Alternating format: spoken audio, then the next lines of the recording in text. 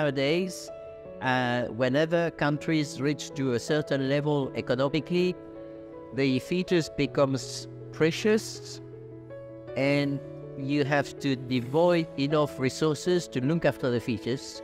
And some disease of the fetus can be cured either completely or enough to wait for the birth and a complete care. So it has become very important and it has become fetal medicine.